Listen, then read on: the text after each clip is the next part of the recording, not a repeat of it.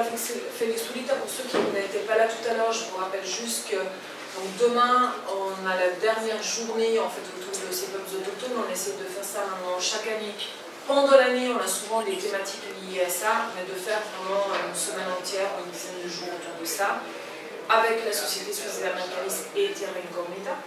Et demain, donc, on revient sur le Guatemala, on sera toujours avec Félix Solita et on inaugure notre maison de distribution digitale Terra Incognita avec un apéro alors, euh, tant que je m'appelle Isabelle, et puis je suis une des personnes qui sont allées à découvrir la révolution nicaraguaise, la révolution sandiniste, à la fin des, années 80, et qui a eu la chance, euh, comme disait Félix, de rencontrer euh, Jean-Claude et d'amener ici toute l'expérience du Sud pour faire la santé communautaire ici en Suisse dans le domaine de la migration. Et ça s'est passé euh, au sein de l'association d'appartenance qui a un objectif euh, dans le milieu de l'intégration qui est celui de favoriser la rencontre entre les personnes qui viennent d'ailleurs et les personnes autochtones ici en Suisse et un autre objectif euh, de, santé qui serait celui d'améliorer la qualité de vie. Alors, Appartenance nous a donné vraiment l'opportunité de, de mettre en place ce projet et vous allez voir comment il y a eu toute une méthodologie qui s'est développée à l'époque et qui mettait à la personne comme le centre de l'apprentissage. Ce qui nous, intéressait, c'était la démocratisation du savoir dans la ligne des, idées de la révolution, c'est-à-dire tout le monde pouvait apprendre de tout le monde et euh, les jeunes avaient la possibilité d'apprendre de ce qui était arrivé, d'apprendre de ce qui est arrivé aux, collègues dans les mêmes groupes et par ce biais trouver des idées guides pour, pour conseiller, pour accompagner les jeunes de la communauté.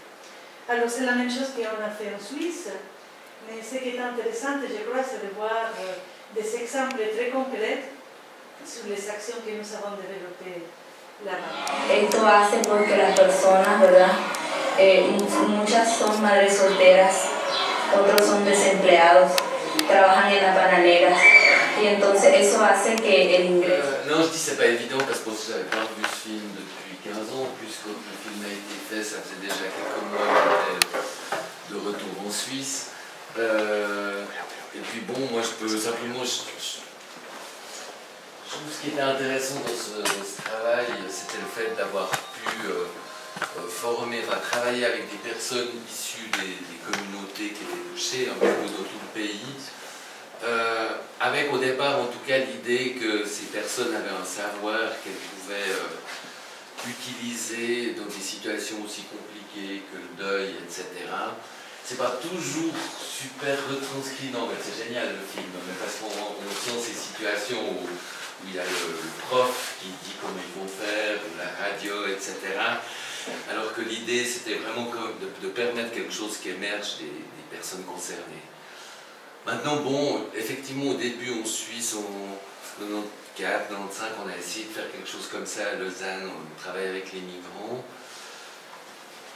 Ce que je trouve qui est très compliqué, puis ça me reste vraiment beaucoup, je reste beaucoup sur ma faim par rapport à ce qui se fait, c'est que les professionnels, mais pas seulement les Suisses, hein, mais euh, c'était déjà pas toujours évident d'ailleurs au Nicaragua, de, la santé, du social, de l'éducation. On a tellement envie de rester dans une position de supériorité par rapport aux personnes auxquelles on s'adresse, dans une position de soins, dans une position de savoir, etc., que c'est extrêmement difficile en fait de, mettre en œuvre des, des, techniques différentes ou des projets communautaires différents. On parle ici de projets communautaires qui n'ont rien à voir avec la communauté, c'est juste se fait dans la communauté, mais au niveau, on pourrait dire, de la participation effective des gens, euh, ça a beaucoup de peine à se faire.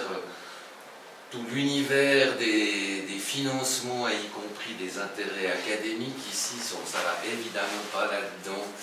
Et euh, euh, les intérêts sont autres que, cette, que cette façon de, de valoriser une, savoir populaire. De los derechos de los niños un tema, bueno, inventado por, por UNICEF, ¿verdad? Para, para tratar va mucho más allá.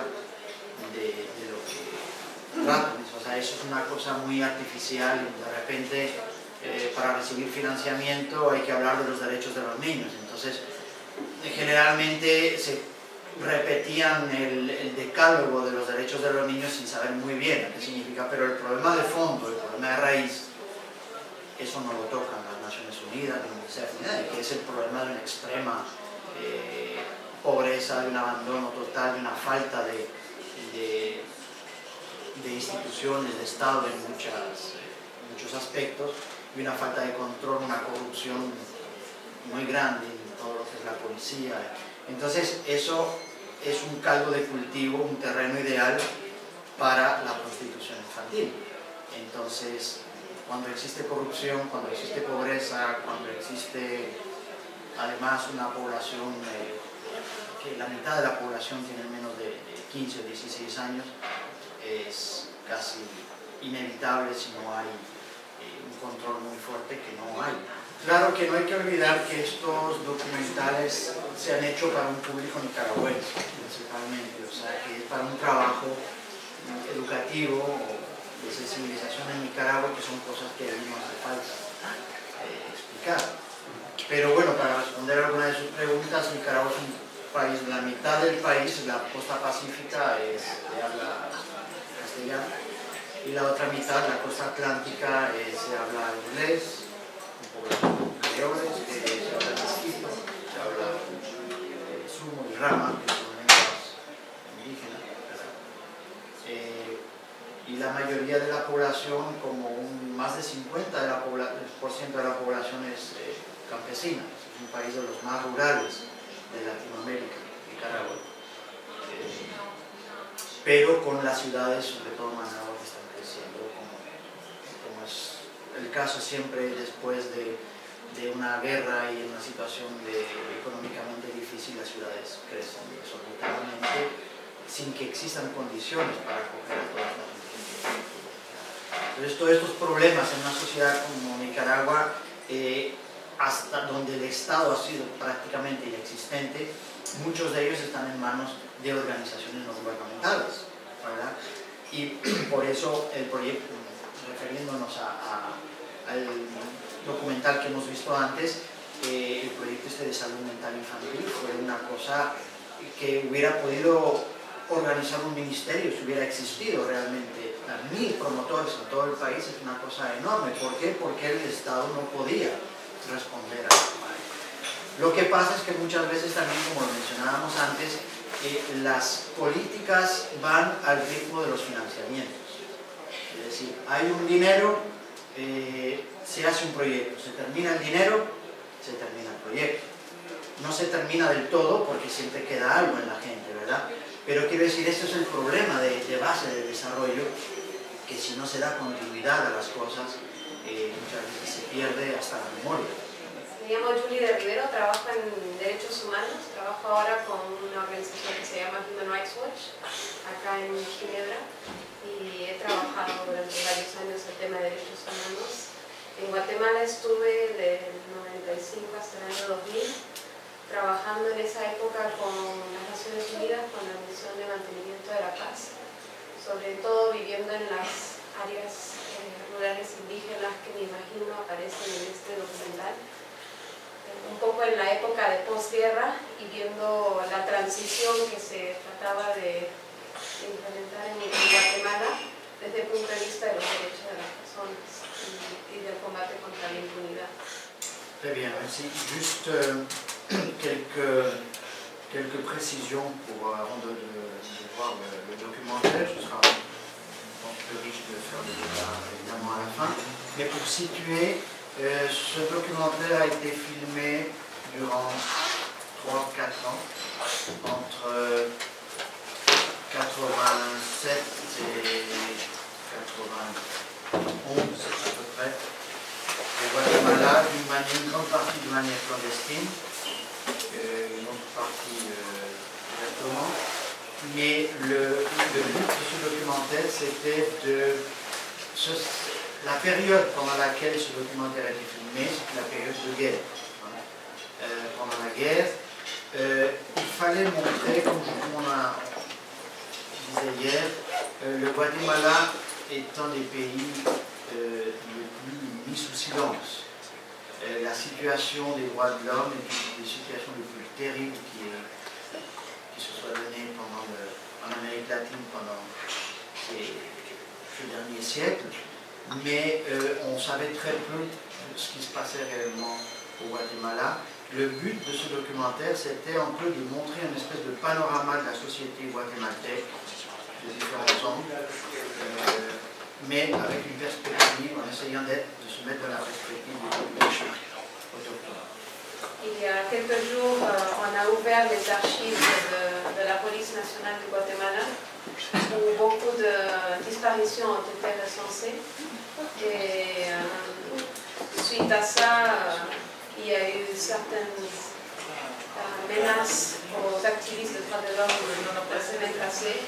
Et les du euh, défenseur du peuple, le procurador de derechos humanos, a été séquestré, torturé, violé et puis euh, jeté dans la rue pour dire qu'il ne faut pas réouvrir ces choses. Donc, la recherche de la justice au Guatemala est encore très difficile. Moi, ce qui m'intéresserait, c'est par rapport justement au travail des droits humains, parce que euh, donc, dans le documentaire, on voit clairement que justement il y a pas mal de choses qui ont été possibles parce qu'il y avait des observateurs extérieurs. Donc euh, autant Félix au niveau de ce que tu as filmé, comme Julie, le travail que tu as pu faire pendant 5 ans sur place, quel était ce travail et puis comment tu sens que vous sentez que vous avez pu enfin mettre une petite graine là-dedans? Et les difficultés que vous avez rencontrées aussi, évidemment.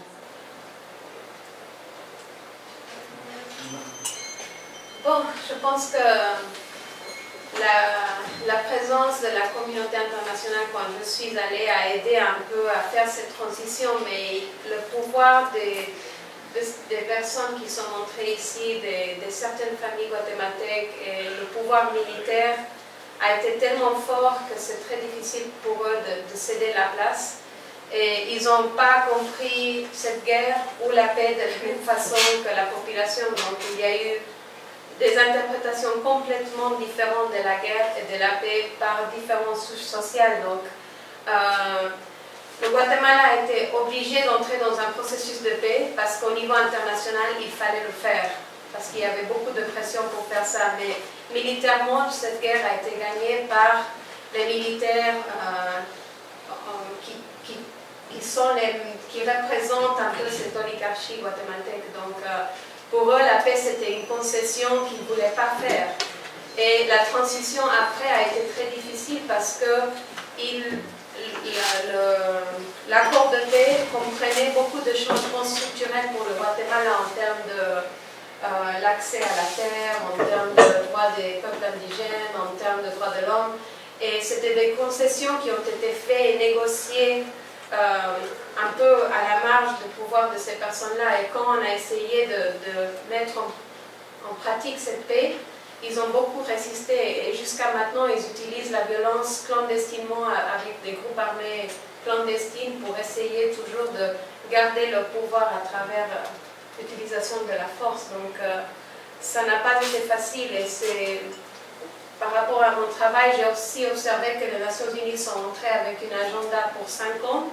Donc, ils voulaient changer le Guatemala en 5 ans et il y avait tout un calendrier de mesures que l'État devait prendre en 5 ans pour transformer cette société répressive en une société démocratique et multiculturelle. Et c'était irréaliste de croire qu'on pouvait euh, faire cette transformation en si peu de temps. Mais j'aimerais dire aussi que il résiste, mais le Guatemala va changer parce que le Guatemala n'est pas ce pays qui croit. Ça, ça ne peut plus être ce pays euh, où il y a deux classes de personnes. Et, au, bout du temps, ça va changer. Et le combat indigène au Guatemala va au-delà de la guerre. Donc c'est un combat beaucoup plus long et historique.